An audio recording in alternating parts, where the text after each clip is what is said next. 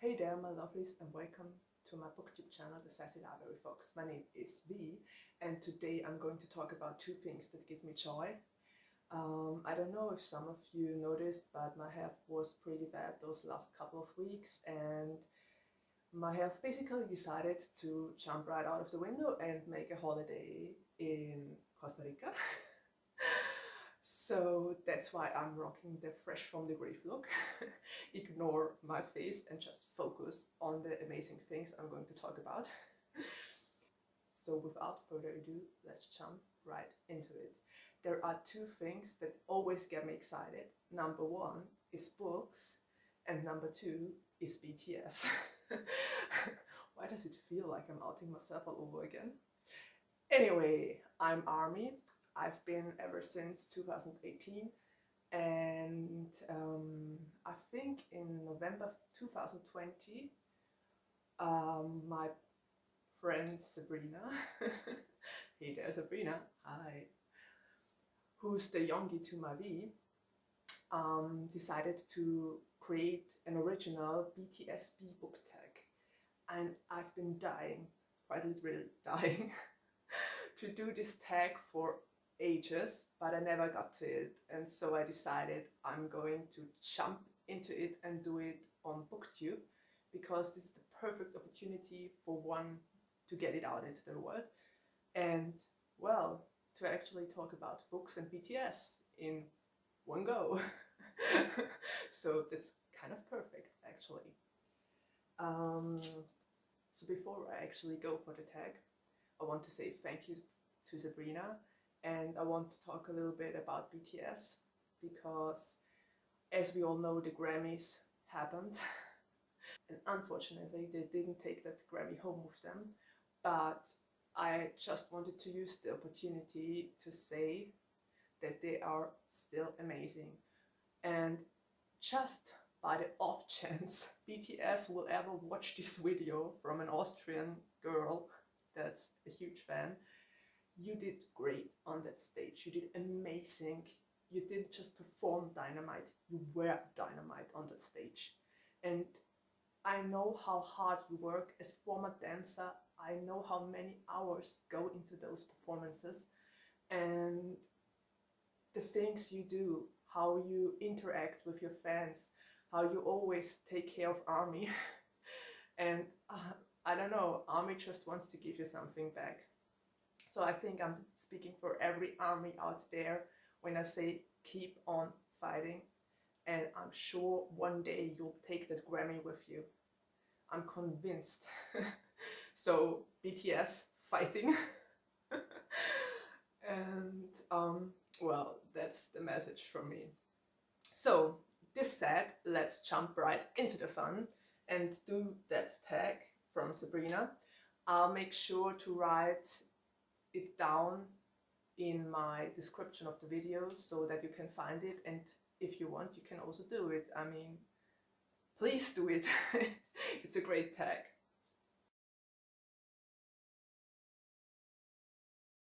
So the first thing or the first prompt of this tag is Life Goes On, a book to remember 2020 by. And I think for me, that's an exaltation of Larks. I know you probably never even heard of this book, but Suanne Laqueur wrote it. I hope I pronounced it right.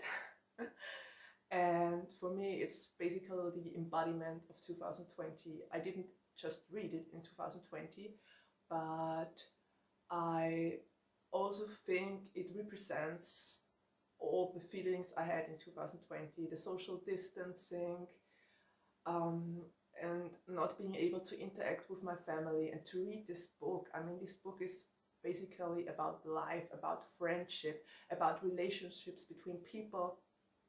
It's it's an amazing book and it's actually book one in a series.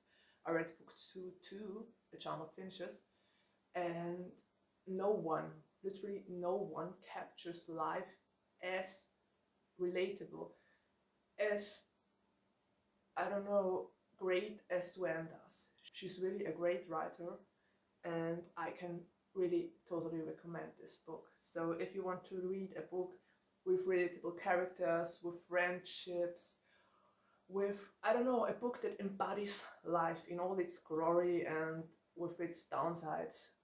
Read this. Read this. It's amazing.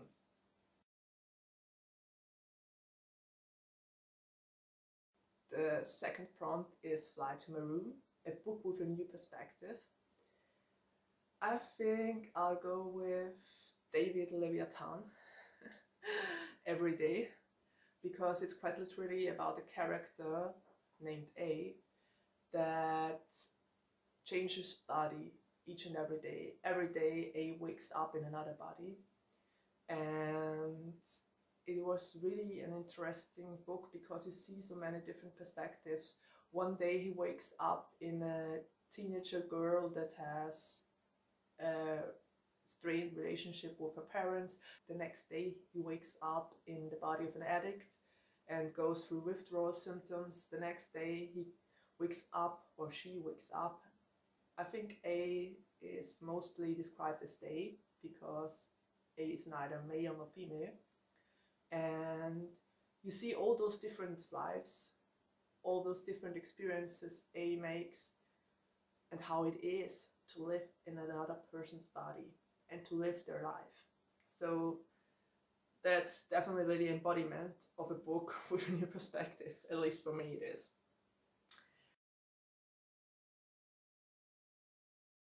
The next prompt is Blue and Grey, a book with mental health topics. And just to talk a little bit about the song Blue and Grey, I love this song. It describes feelings so perfectly, and I can't believe Tae wrote it. or, oh, well, I can because he's an amazing writer. But the feelings he conveys, the feelings they all convey, is just amazing. It's one of my favorite songs of the album. So there's that. And as a prompt or as the book I'd choose for this is um, Alice Oseman's I Was Born for This because it's just perfect for this prompt. I mean, it's a book about bands and their friends and um, how fandom works, how bands actually work, and it's, it's just it's just perfect for this prompt because it actually gets the K-pop fandom to a T. It's it's perfect. It's like I don't know. Is Alice Oseman a fan of K-pop because she nailed it? she literally nailed the fandom and the bands and their interactions, and it's just a great book. And if you love music, if you love K-pop or any sort, or I don't know if you're a fan of any sort of band, you love this. It's a great book and it's an amazing story. Also, the mental health representation is about social anxiety and I think a little bit of depression, so it definitely fits the bill. The fourth book is Skit, a book with great banter or made you laugh. So the first book that comes to mind is actually Six of Crows because the banter in Six of Crows is superior. I don't know about you, but I rarely read a book that had such amazing banter between the six MCs. So this is truly as good as it will ever get when it comes to banter. So yes, Six of Crows is definitely my answer for Skit.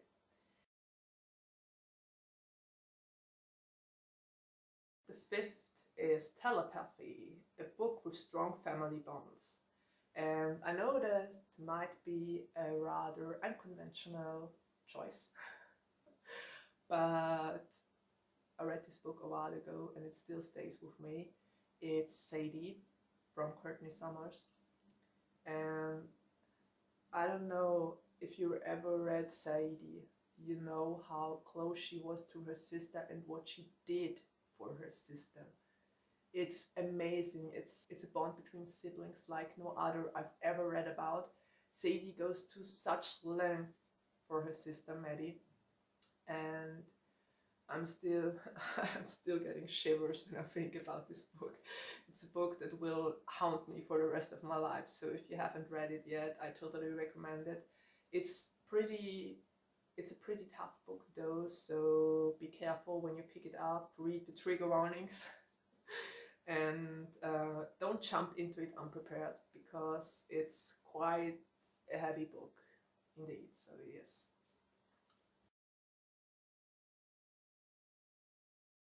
The sixth prompt is Dis-ease, a comfort read. And when it comes to comfort reads, I'll always mention the series The Raven Cycle by Maggie Stiefvater because I love this series, as some of you already know, at least the ones that follow me on Goodreads and always see my Saturday update. um, it's just a really, really great series. It has all the things I love to read about. It has found family, it had strong friendships, it has supernatural kind of thing, magic, and a magical place, Cabeswater, and I just love the characters. The characters are so well thought out, and it's definitely a character-driven series. But if that's your jam, you can't go wrong with this. So the Raven Cycle. If you haven't read it yet, please give it a try. It's amazing and it's an awesome book. Stay, a book filled with yearning. Oh, I don't know. That might be another rather unconventional choice, but I think I go with the Heart's Invisible Furies here because the life story of Cyril and his trials and his yearning for his best friend are quite something. I mean, the entire book is basically running on that yearning he has for his best friend. He lives in a time in Ireland where you actually could go into jail if you were a man and loved another man. So the yearning is real, my friends.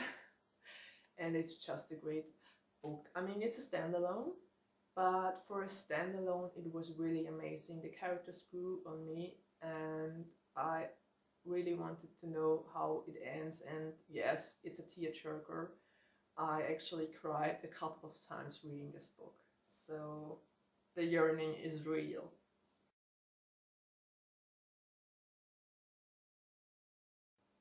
And the last prompt, Dynamite.